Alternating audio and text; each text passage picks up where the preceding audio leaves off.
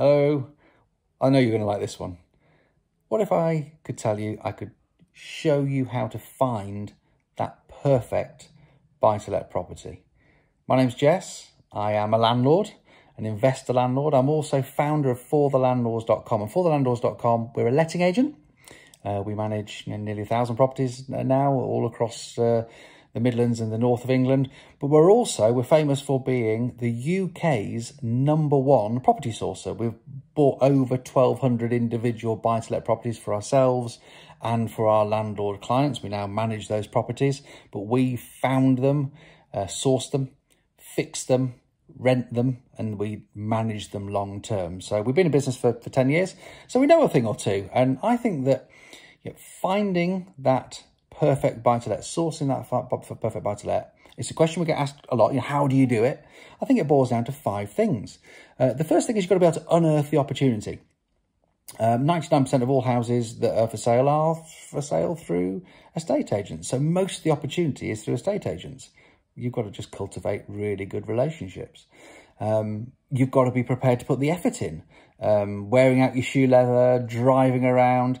It's a full-time job. Our property sources, we have property sources out in the field in all the all the property hotspots in the UK. Um, it's a full-time job. It's not all sourcing. They've also got to manage renovations, do renovate, um, renting, you know, get the, get the whole job done. It's not just about renting, uh, renovating the house or finding the house. It's the whole package. But still, the just finding of it um, is taking up a lot of time. So a bit of persistence and, and getting in there. The second thing is you've got to understand property fundamentally. You know, what's it worth? Like an estate agent would. And then also the bricks and mortar of it, like a, like a builder would. So what's this thing worth? And also, what's it going to cost? What, what am I looking like a surveyor or like a builder? You've got to have all of those things in your mind, in your head. And that's quite a skill set as well. And if you haven't got it, you're really, really going to struggle to know that you're paying the right price. The third thing, I think you've just got to be organised and persistent. It rarely goes right first time.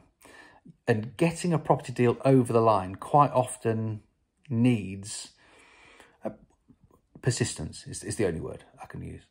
You know, organising surveyors, dealing with solicitors, dealing with the other side, dealing with the vendor, um, getting all those things all organised and overcoming the challenges and obstacles. You know, I can't buy it because of this report, but actually if I'd get this fixed or pay for that or get that person to sort this first, that'll work. Or um, that looks like a challenge or a problem, but can I fix it with an indemnity policy or whatever? All those little things that you have to do to get the deal over the line, whereas most people don't. The classic example is we always get a property survey on our property to check the things standing up, but uh, it's got to be the right kind of survey. If you get a survey and it comes back and it's got loads of um, sort of you know, full on home buyers survey, you've got to be able to sort the wheat from the chaff. It's actually, that's not a problem because we're going to be fixing that anyway, or that really is a problem.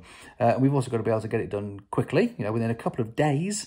We want a, a survey done within a couple of days because we've got to act quickly.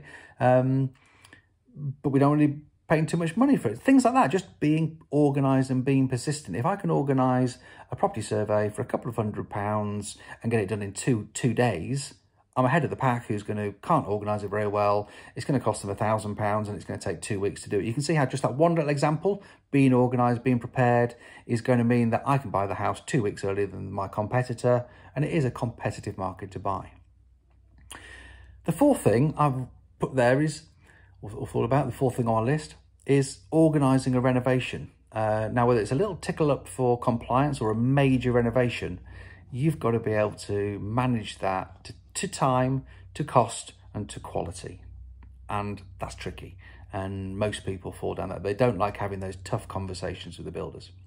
And the final thing is renting and managing the thing. It's actually the most important thing, isn't it? If you think about it, um, all the drama and high excitement of um, finding it, renovating it comes to nothing for the next 20 years when you're just going to be renting the thing out and managing it. So I said this would appeal to you. Um, I've given you a little list there. There's five things on it. What if I said to you, we're going to run a webinar. If you click the link below, you can book on it and we'll show you how we do it. There's a little bit of an ulterior motive. I'll come on to that in a minute. There's no no upsell, no side sell, no education, no pitch, nothing like that. But there's a little bit of an ulterior motive, and you won't mind me for that anyway. Um, but I'm going to show you in the webinar what it takes to source that perfect buy to let. Click on the link. You can book yourself onto the webinar. If the time's gone, you'll be able to book on and see a, a, a revamp of the webinar, a, a, a review. Uh, we won't be posting that for another month or so. It takes a while to do, it, so don't not click on it if it's live now. Uh, get booked on for the webinar for the date because otherwise, you know, the, the, the, time will be gone. If you're interested in it now, it's now. Otherwise, we'll be putting up the replay in a, in a month or so. Once it's all, all edited, they take a while to edit. But, you know, what, what does it take to source a buy-to-let? We'll show you it in the webinar. If it needs the renovation, how to manage it, we'll go through all those five bullet points. Um, we'll have a little case study in there, a live and dangerous case study. One of our property sources um, will be showing you before, during, and after on a real live deal. You know, today, check the date on the on the video. Um, so you can see from the coal face what's going on. I said there's a little bit of an ulterior motive, and you won't mind. And I promise we won't pitch in the webinar at all. We just we just don't. We're not that kind of company, but we are the UK's number one property sourcer. And I know that if we speak to let's say 100 people on a webinar, three or four of you are going to look at us and say, you know what you're doing, and you've done it a lot and uh, I understand that a property source has got a value because you know I haven't got the time, the skill, or the inclination. We don't charge we charge fees for doing what we do, but it's not exorbitant. And when you look at it against the context of what we do, what we can do for you, and we can we can find and fix and rent that house for you, we can source and do the whole package. Plus, then we can look after it and manage it. We've got clients that we've taken from zero properties all the way through to 30 and 40, and they've got houses spread out all over the UK, and we manage them all for them that's quite a service. So I know that if we've got 100 people on the webinar, three or four of you will probably end up being the clients. It's not the point of the webinar. Come along, have a look. Um, but I'm sure we'll pick up some clients as well. And uh, you'll be very, very welcome either way. Just come and have a look, have a chat. It's always nice to do that. And if at the end of it you decide to um, become one of our property sourcing clients, then it'll be down to you to click the link and book on. We won't put any pressure on you to do it, but uh, yeah, a little bit of an ulterior motive. So that, that's it for now. Click in the link below. And um, yeah, bye for now.